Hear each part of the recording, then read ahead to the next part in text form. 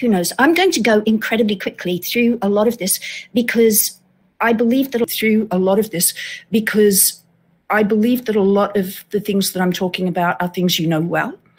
Hopefully, I'm going to hit on some things that I'm considering from a different direction. Um, we're just, I'm bouncing back here. Silicon Valley Robotics was formed in 2010 by, pardon the bouncing, by a collection of 40 plus robotics groups. And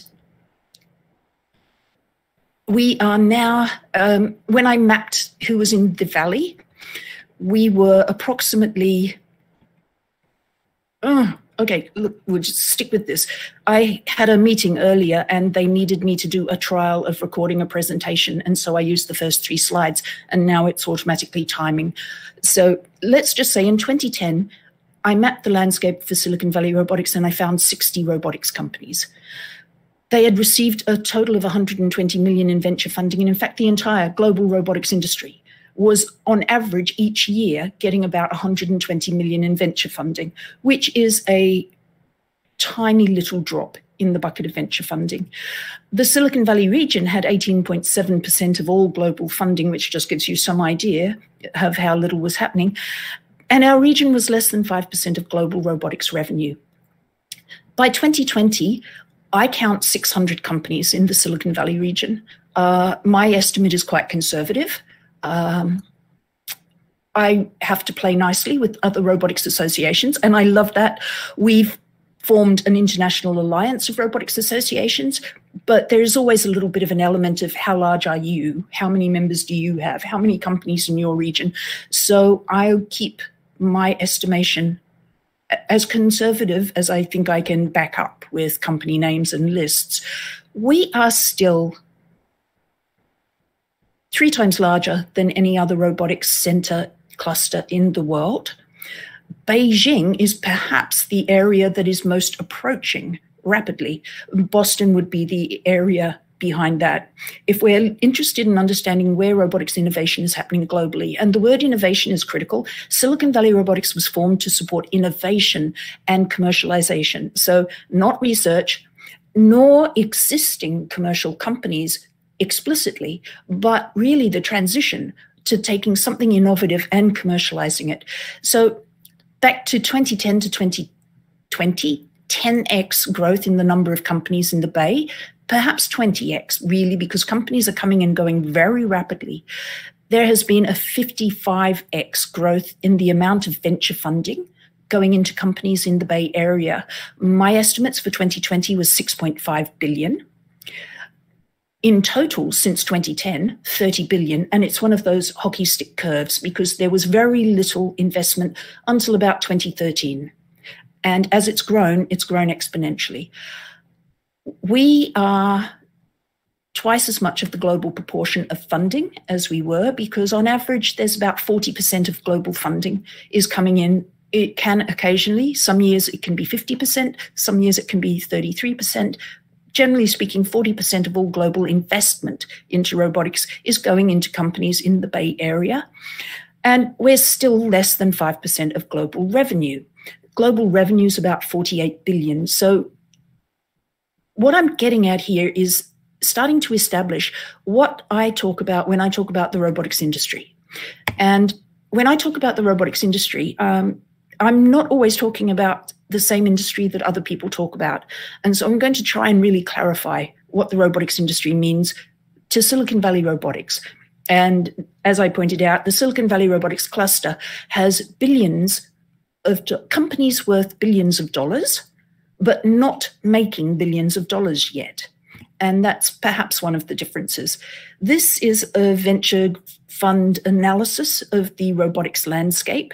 And uh, when they looked at 2021 year to date, this came out in late January, they estimate 2,000 robotics and AI companies in the Bay Area. 650 in Boston, 250 in Pittsburgh, and these are the three largest global areas. Uh, they do an analysis of the other regions of the US as well. But I think we all know that once we start talking about Pittsburgh, then Austin, Seattle, Los Angeles is actually larger, uh, about the same size as Boston, but Los Angeles is also greatly understated. New York, uh, Washington area, there are at least 10 clusters of robotics. Denver, Florida, in the US, often associated with national laboratory areas or large um, Army or Navy bases. Now, I like to point out that robotics in Silicon Valley is the small fish in the large pond, and that's why we don't have a reputation for robotics. If we look at the sum total of the economics of the robotics industry, the entire industry, then 2019 figures is it's still under 100 billion dollars. Whereas we have some tech companies where we're talking trillions of dollars in terms of total tech company revenue. And the breakdown of the economics of robotics is that approximately 48 billion is direct and indirect revenue from the robotics industry. 29 billion is investment, and that was in the 2019 year. And 17 billion was acquisition. And where the money goes speaks a lot to what you call the robotics industry. Now, I recommend that you look at the Silicon Valley Bank report on robotic that came out at the end of last year. They now have a department that looks at robotics because there is a sufficient number of new companies through the venture investing in this for it to be a major part of their global economics landscape. And you can see where robotics fits into the landscape between cloud, Internet of Things, augmented reality, cybersecurity, data analytics, simulation, integration, additive manufacturing. When I talk to government, they tend to see robotics as being something that is advanced manufacturing and additive manufacturing, or something that is drones, or they don't see it at all, even though it is part of agriculture, it's part of construction, it's part of medical. Um, I look at robotics across as an enabling technology across multiple industries.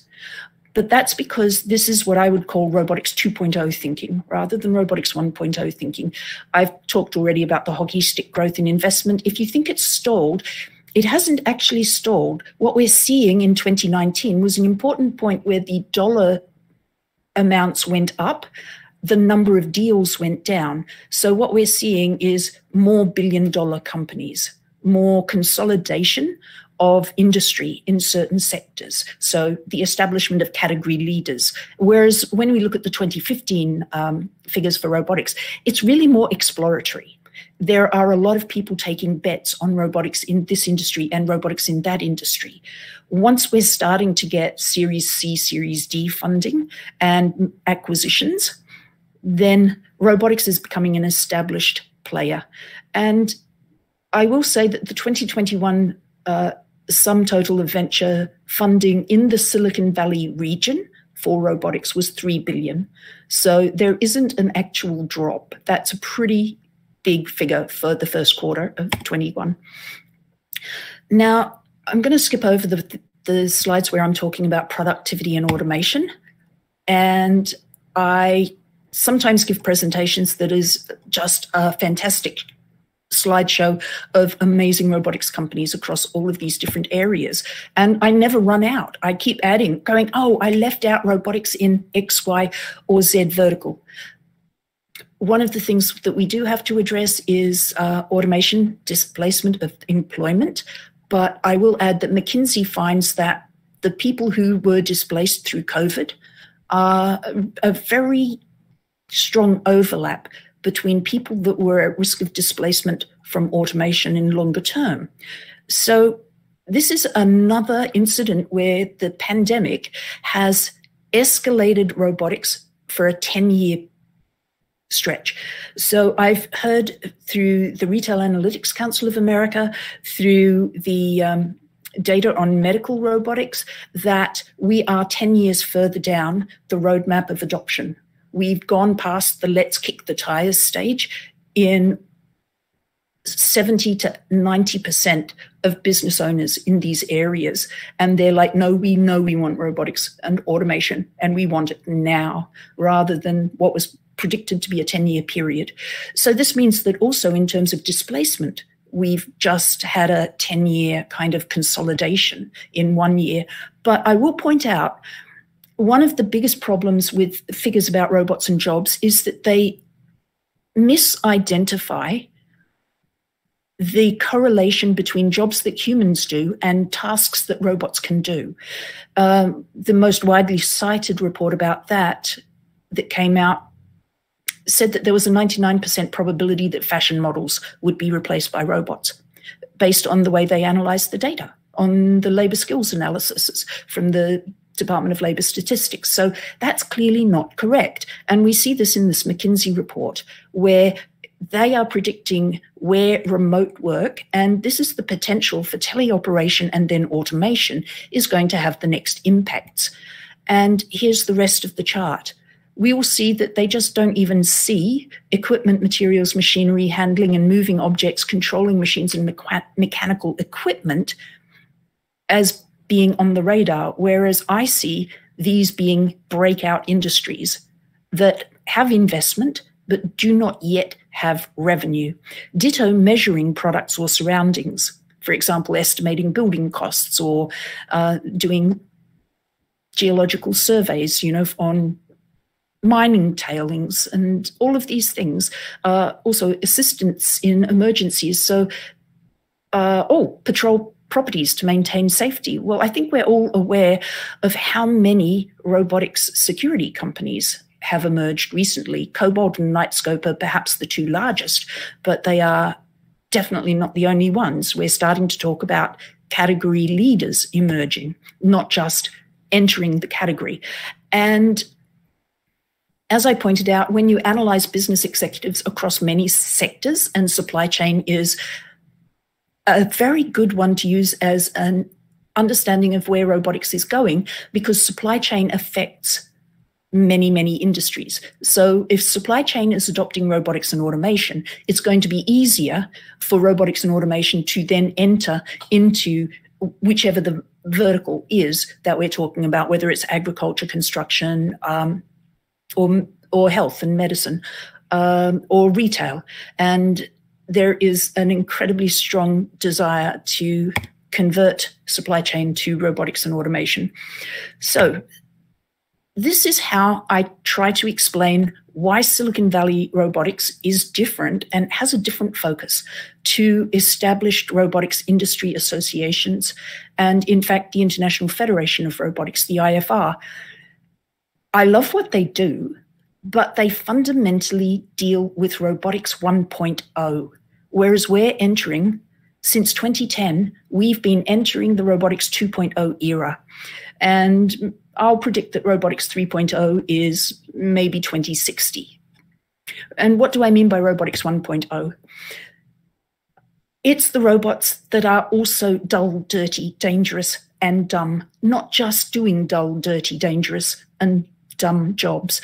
They're usually caged in factories or far underground or out at sea or in space or in places where people aren't. And so most people don't really know that that robotics industry has existed since the 60s. And it is what is usually referred to when you hear any statistics about the robotics industry. In fact, these are largely called industrial robots, barring for the two on the right, which are engaged in logistics. And so they're called service robots. But the bulk of industry robots, the bulk of what I call robotics 1.0 are industrial robots. And 50% of them all have been building automobiles.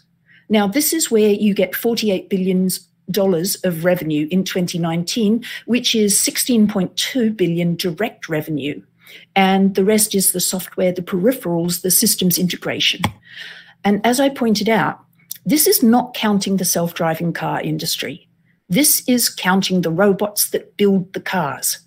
And so there is a fundamental definition of robotics industry that has been adopted because 50 years you need standards, you need international bodies, you need, you're collecting data and statistics. but it is fundamentally about welding automobile bodies with a little bit of service robots tacked on. Whereas the robotics that Silicon Valley is seeing are robots for every other job. And as far as the IFR collects data, or this is called other and unspecified, and it's increasing by multiples of, well, actually 50% is probably the wrong figure. It is continuing to grow enormously. And it's very, very difficult for statistics collecting bodies to understand how rapidly it's growing because of lack of revenue and a lack of awareness of where the revenue is potentially being made as well. And if people say, hey, isn't that more of a robotics 3.0 kind of a robot there because it's a, a planetary rover? I think a key part there is it's a private company developing planetary rovers. So there's a heck of a lot of investment and growth happening everywhere from space through to social robotics that is not grant funded. And so to understand Robotics 2.0, you track the investment data rather than the revenue data. And I will use my metric for Robotics 3.0, which is predicting the future, is that we'll look at where the grant funding goes. So another way to break that down is to say that since 1960, we've had stationary robots. Today, we have mobile robots and robots that can do single tasks. And in the future, we will start to look at multitasking. And it's been referred to, Dr. Gil Pratt referred to this as a Cambrian explosion in robotics. I call it the four S's of Robotics 2.0 to go with the four D's of Robotics 1.0. And the fundamental differences here are that the robots are smarter and they have sensors all over them. And because they're smarter, they're capable of processing the sensor data in real time. That allows them to navigate. Navigation is the key technical or technological difference. And this is navigation, whether it's a fixed robot arm navigating within its environment or whether it's a mobile robot, a self driving vehicle, or some form of retail inventory or logistics robot. It's able to navigate more intelligently, which makes it safer. I would still argue that they are not multitasking robots. They're capable of doing a single simple task.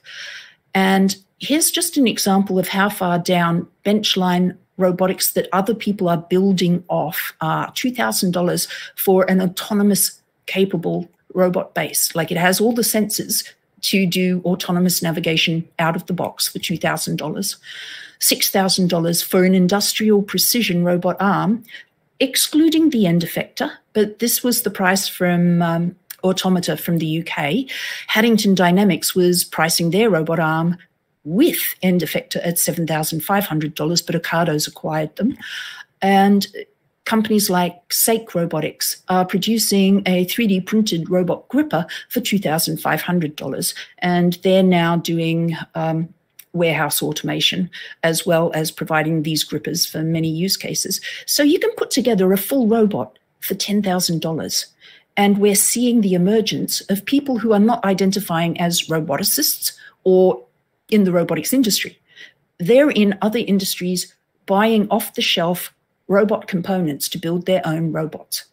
It's going to be really difficult to track where those robots are being used and what they're being used for. One of the fundamental drivers of this, and perhaps one of the ways of finding where these robots are being deployed, is ROS, which is the Linux for robots. And if you look at the difference in deployment numbers after the release in 2010 to the release in 2018, you can see how powerful the impact of ROS has been what I found anecdotally is that uh, when I talk to new robotic companies, they all say that they've used ROS in their development. That's pretty significant. We're also training the next generation of robot operators so that robot operation is going to be very, very, potentially very simple. And the number of jobs that are going to be working with robots are going to incorporate jobs that we would call blue collar or unskilled. There are a lot of robot companies that just need people to throw boxes at the robots or go and pick them up from wherever they've fallen down. That kind of robot wrangling or remote teleoperation of robots are big growth sectors. Now, I did mention Robotics 3.0. You can track it by research grants, and there's a lot happening in single tasks becoming systems, in social robotics, and I would call that, let's forget that prediction. I've got the three M's of Robotics 4.0. This is a bit of a stretch, but it's a multitasking robot. It's an emotive robot capable of perhaps detecting our emotions in context more sensibly, and certainly of being able to behave in a way that can be appropriate in a social situation. So it can appropriately utilize emotional expression. We also have the ability of robots to morph, to change shape. Soft robotics is going to play a very interesting role moving forward. Big Hero 6 is the best robot documentary out there, which was designed after consultation with SRI International and other lab, the people that were building micro robot factories and soft robots. And that uh, multi agent system is based on the um, SRI micro factory work which is still very, very early days, but you can see the micro factories in action there, and you can see a little bit of the soft robotics research that's happening in Allison Okamura's Charm Lab. And these are fantastic. Most ordinary people get very confused because these are the videos like Boston Dynamics that are very popular on the internet. And they give a very false expectation of where robotics is at commercially. I'm trying to race through this. So, these are very messy slides. I was trying to clean them up and I haven't quite got there.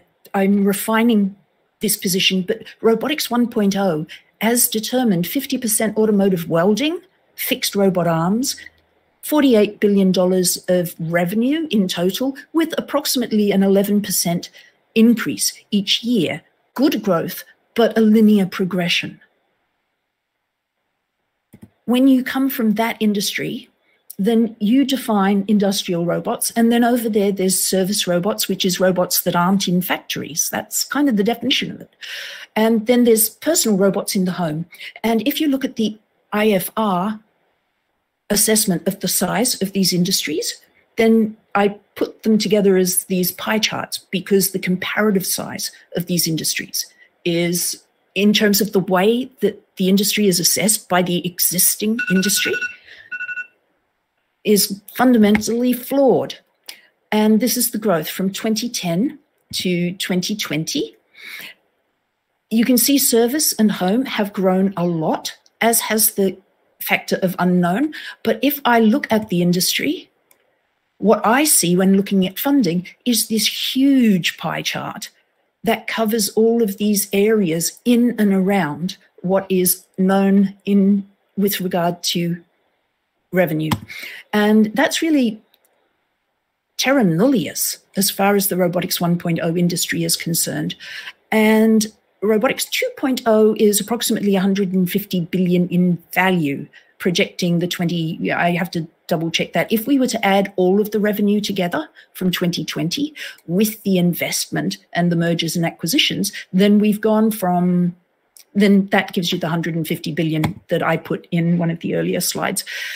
Now, what I'm trying to say is that the robotics industry really is only caring about the revenue factors. What I'm looking at usually is the investment factors. And this is what the other industries care about. So we have this separation. What the robotics industry, as established, cares about is happening in its own field. All the other industries, the Retail Analytics Council, the advanced manufacturing groups, the um, oh, everybody involved in drones, in logistics, in healthcare, in every other field is interested in these emerging innovations. And that's one of the biggest gaps in terms of getting data um, about what is robotics and where is robotics. So, robotics 2.0, this is my this was what I'd intended this presentation to be all about, and it was going to be diving into what's happened in the last five years in service robotics industry, in retail, in logistics. But it's hard to get, it's a largely qualitative feedback, is the point that I wanted to get to. What I can bring together from that qualitative feedback is that we need to have quality. And it is very closely tied to all understandings of product quality. Although I found it hard to find correct definitions for product quality, but robots have become a product. And as such, they are expected to meet product standards. They are expected to be safe, reliable, durable, affordable, um, be accessible for most users or customers, fit for their purpose, and good feedback from customer and staff, particularly staff. Now, the most difficult thing for robotics startups is dealing with the initial market entry because you're generally speaking, a robotics company is looking at the potential to add value. And that is not how success happens in moving into these industries. Unless you're getting funded by an R&D group, the innovation wing of a large company. And that is a bad indicator for your success as a company because they are funded to kick the tires and to learn what's happening. They are not. Even if they invest two years in your company, examples could be um, Lowe's Hardware Innovation Laboratory and their investment into fellow robots. Uh, all of the major players have innovation labs being in their innovation lab does not translate into being deployed in their shop fronts. To be deployed in the shop front, you're coming out of their operational budget, not their innovation R&D budget. And pretty much the only way that you get in to the real operations is to reduce the cost. Right from the start, you must reduce cost.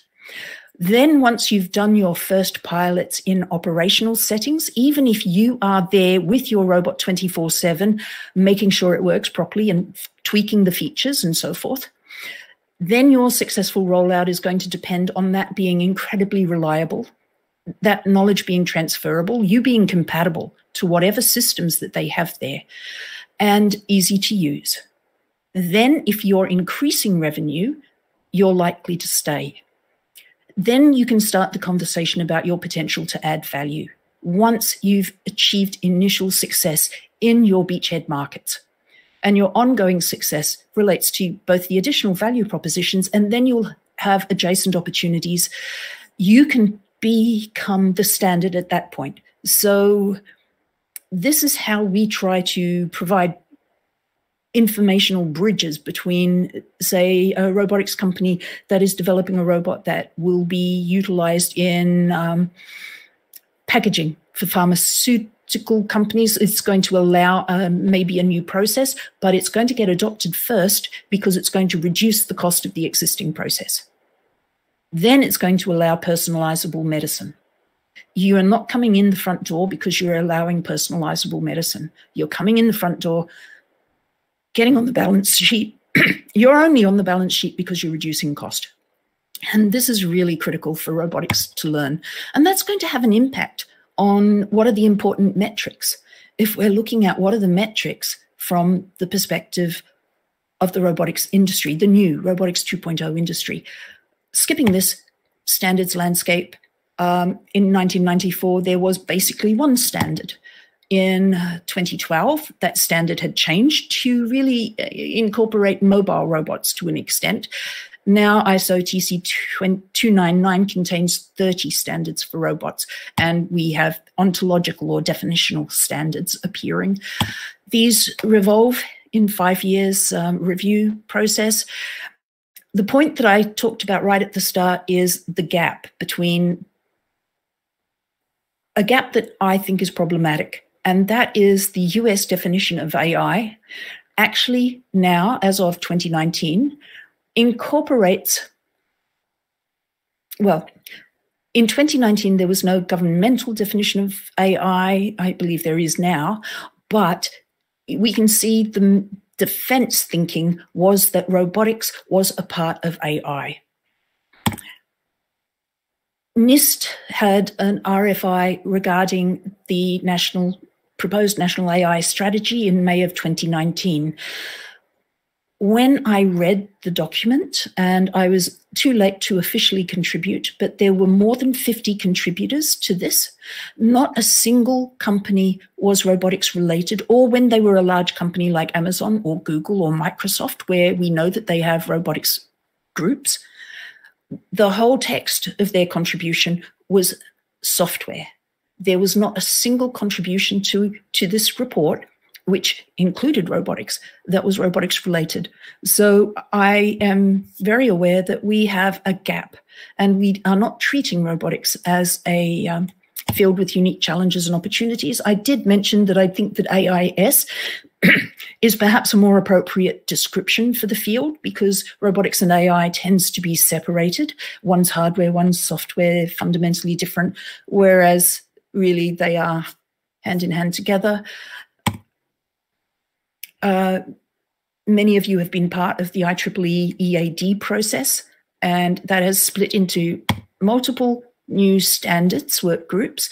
I have lost touch of an understanding of the frameworks that are being addressed.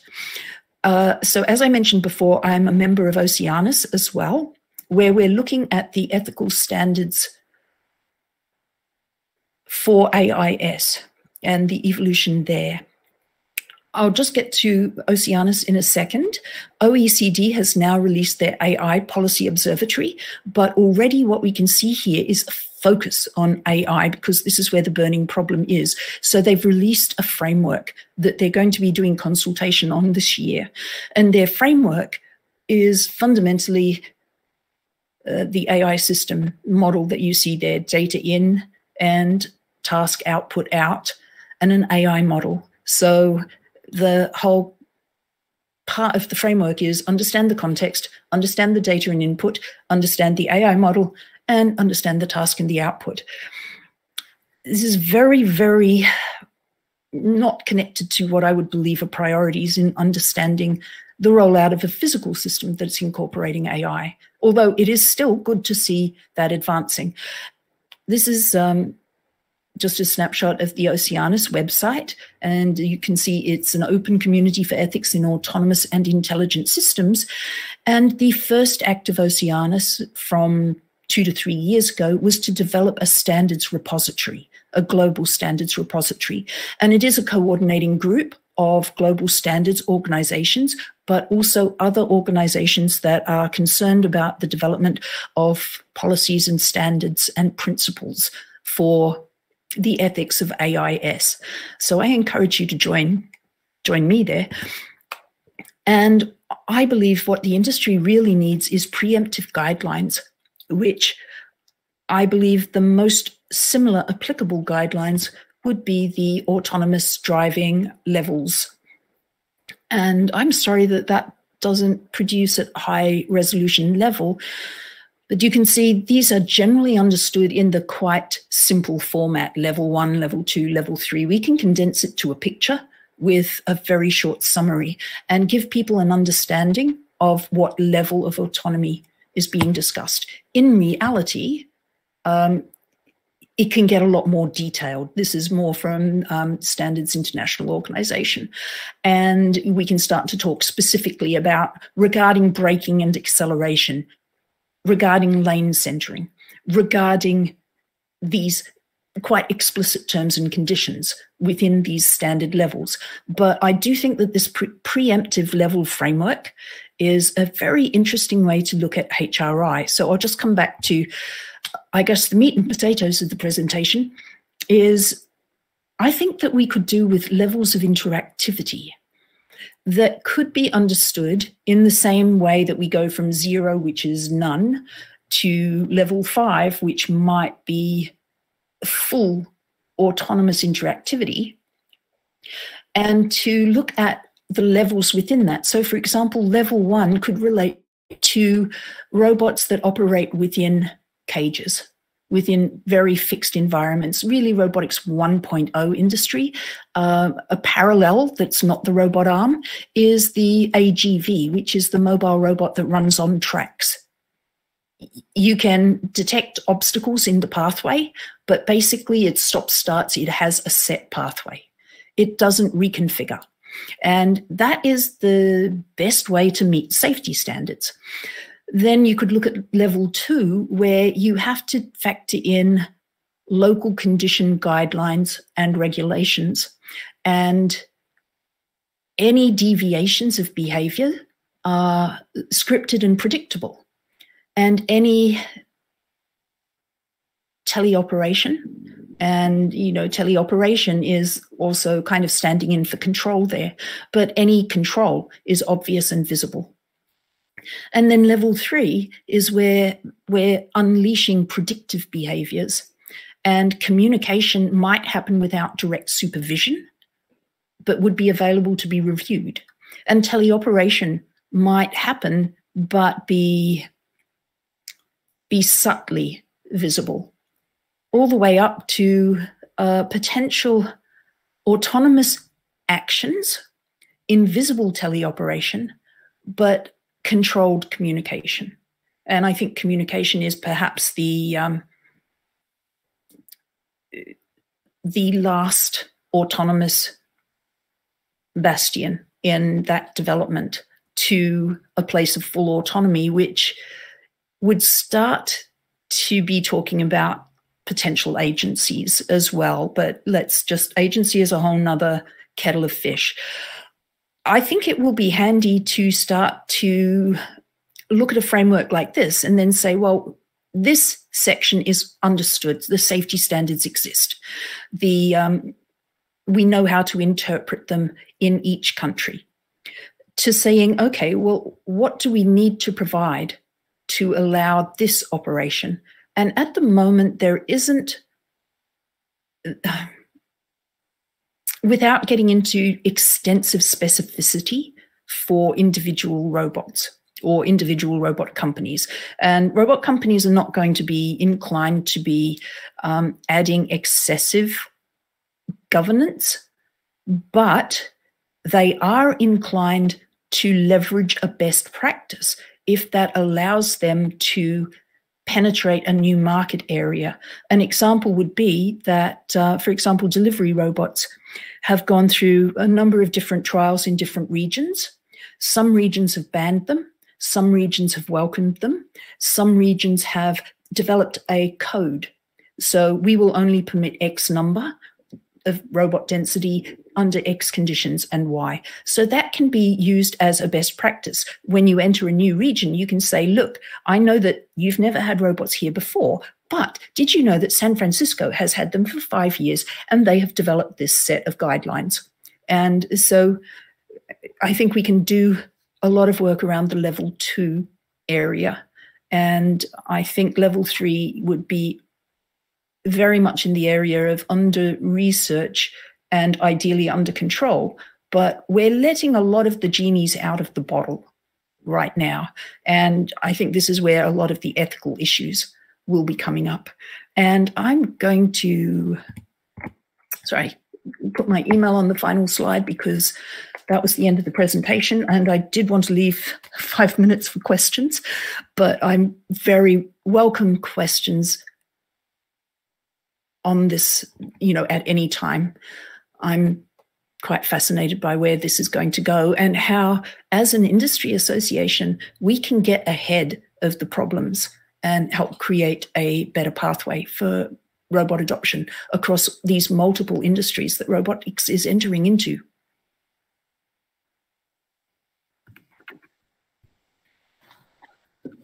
Thank you, Andra. That's a wonderful presentation. So I'm going to go ahead and open up the floor to questions.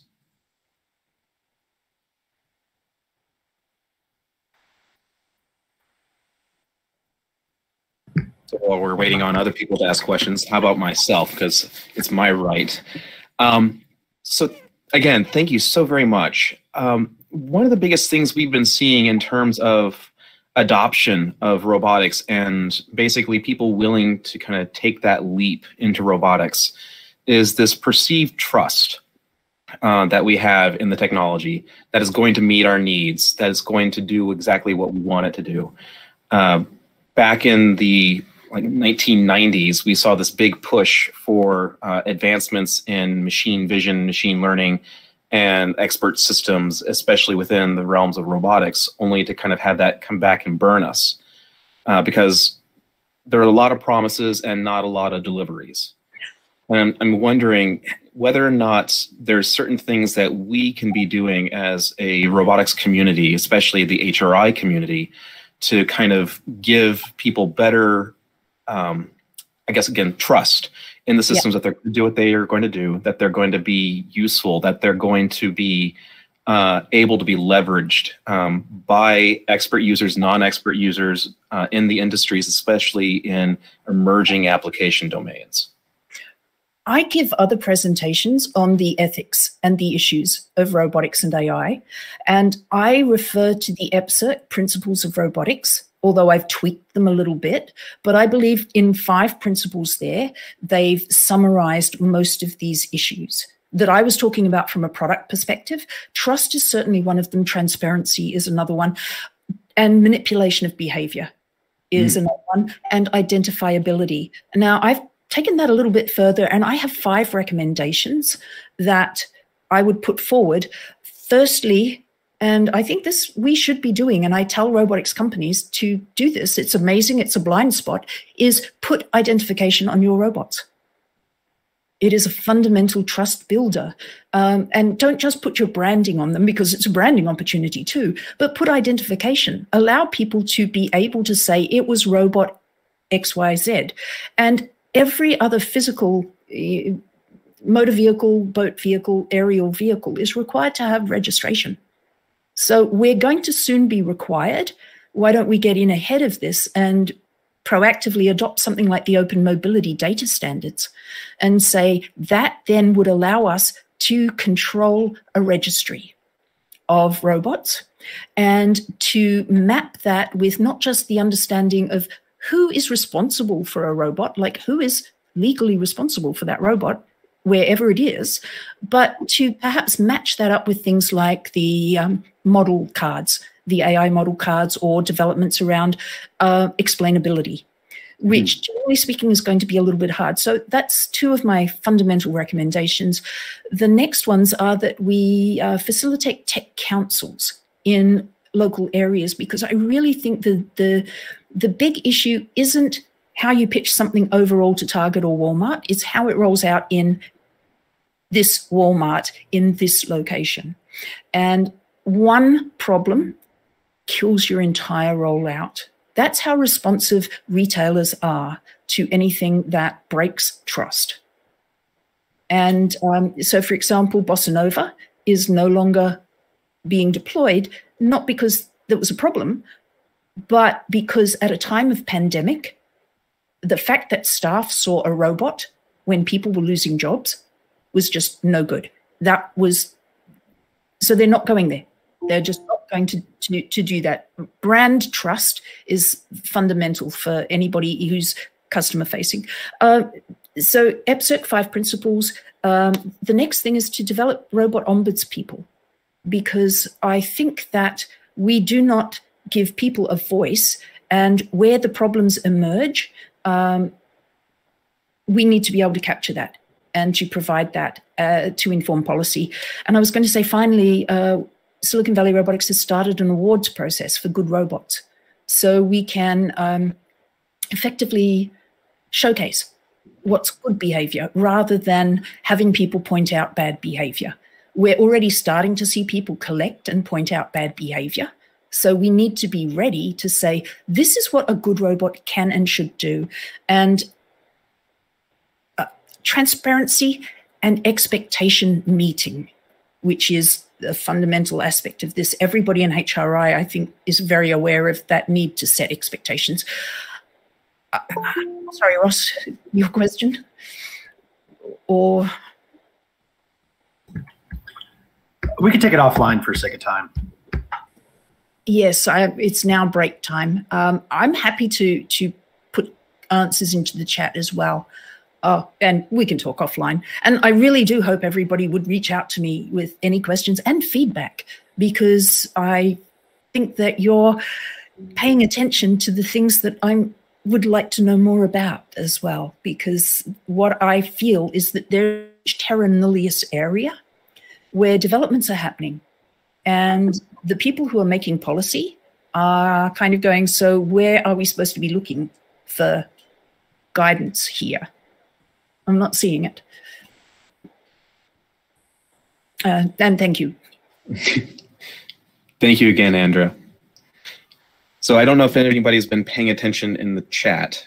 Um, let me go ahead and get this started. Um, we are having some technical issues with this particular Google Meet, uh, so we actually have to switch to a different Meet. Yep, there you go. Thank you, Shelly. Um, I'll also bring this up here. Um, and so after the break, uh, we'll be coming up on the new uh, Meet link. Uh, I'm actually going to keep this one active uh, such that people can uh, follow the new link uh, if they are joining us late. And in the meantime, I hope to see everybody in about 12 minutes time. And uh, if you have any questions for uh, Andra, if she uh, doesn't mind sticking around during the break, uh, we can also accommodate that as well. Thank you, everybody.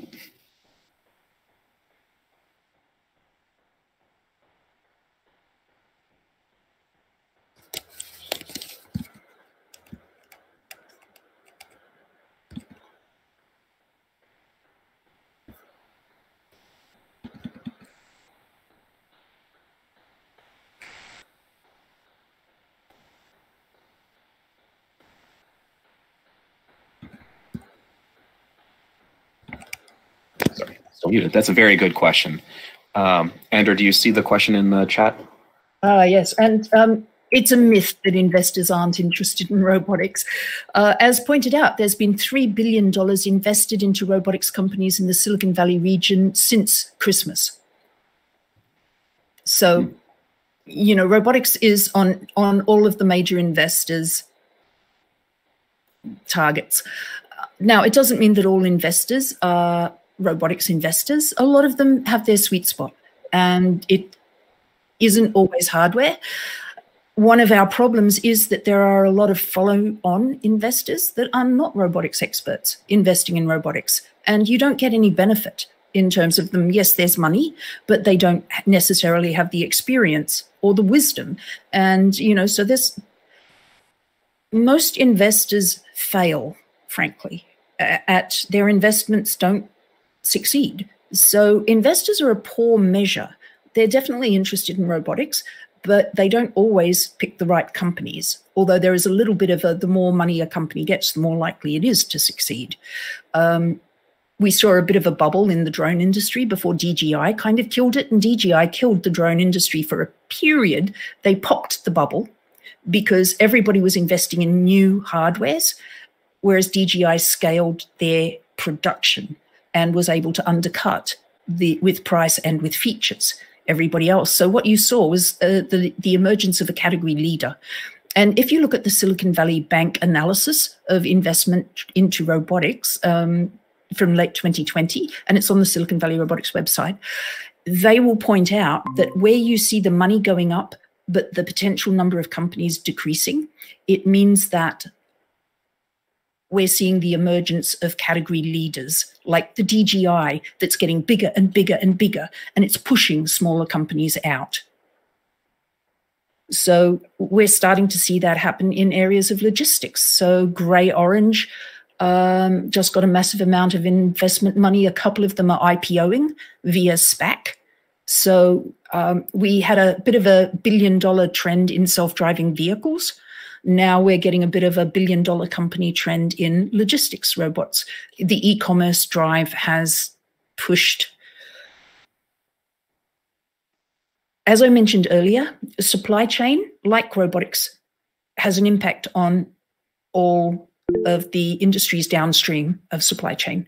So, supply chain is absolutely going for robotics and automation. Um, the breakdown of venture investments, companies pre revenue. Okay, approximately 30% of investment in the Silicon Valley region is seed. Yes, I've got the global statistics. It's approximately 30% globally, maybe a little bit more actually, probably more like 40% globally is going into seed. And we're seeing the same emergence of category leader structure happening if we look at the global investment in robotics, where the rest of the world is five years behind. It's where Silicon Valley is at. So Silicon Valley is investing more money into its robotics companies and growing them faster. The rest of the world is doing more seed investing and is putting a lot of little bets on the table and as opposed to developing category leaders. That's when you look at the data across the years, across the world, across um, those. So you've got to understand that when you're looking at the data that way, you're looking at maybe 400 deals, maybe 600 deals, maybe 300 companies on a, a slice of investment, venture investment over one year globally. So, how representative is that sample? I can say that there's a lot of consistency over the last 10 years. I can also say that where we're seeing changes in that happening when you compare deal numbers versus deal location versus deal amount, what we saw is that Silicon Valley started higher and got bigger faster. The rest of the world would be approximately five years behind that. So there's a lot of small investment globally. It might be that the economics of scale mean that when you're going really big, you're doing it of three ways. You're getting a massive acquisition like uh, General Motors acquiring Cruise, or you're doing an IPO or a SPAC IPO. So it's going to be, that's not necessarily a Silicon Valley result once you're there in the public markets. Oh, the robotics is branding, absolutely. And it's, um, most companies to succeed drop the robotics because that's not necessarily what their market is interested in. So when you go to your customer, you don't say, Hi, would you like this robot? You say, Would you be interested in increasing your throughput by 30%? while reducing your headcount by you know 20% or by you know minimizing your something else or solving this problem so you absolutely don't focus on how you do it, you focus on what problem you're solving. And uh, we see certain things emerge, for example, robot vacuum cleaners, where the robot has become part of the branding of that category. I don't think that we're going to see robot tractors emerge as the branding for the autonomous tractors that are rolling out because that might just be redundant. It's the next tractors that farmers want. Uh, in the same way that self driving vehicles are not robots, they are, but they're self driving vehicles. They're cars. And so each industry is going to develop its terminology differently. And one of my favorite definitions of what is a robot is it's something that doesn't work in a demo. Because really, we're coming at it as roboticists from a profession, building something that is still new. It hasn't become a product.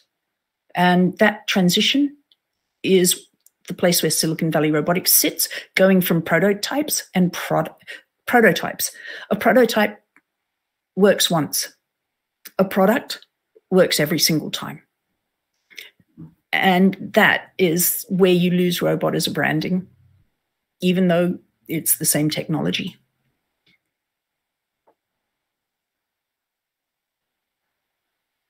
Yes. Um, well, a social robot.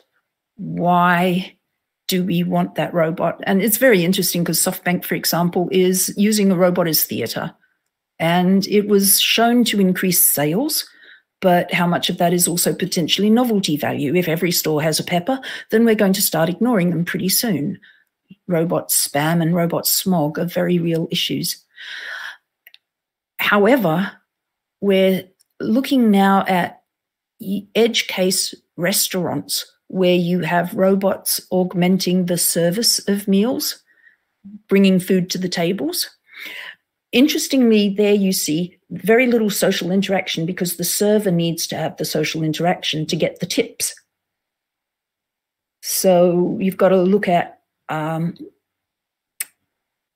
the expectation of interaction within that industry. Uh, in the way that if we look at self driving cars, the interaction has to be incredibly subtle rather than a feature Like it's a feature when you don't notice it rather than having connection and conversation. Not many companies have identified reasons why that conversation is the key feature. One of the companies I really like is Catalia Health, that came out of the Social Robots Lab at um, uh, at MIT, then went to Hong Kong, then to Silicon Valley, and they are successful in deploying a social robot as, and they don't.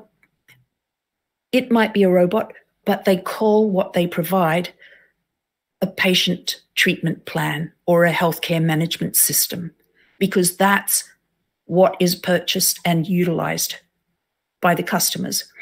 The person who is prescribed the robot, and it's prescribed, is the person who uses and interacts with the robot, and they can call it a robot. But the business model is selling a patient treatment management plan to pharmaceutical providers and health management companies.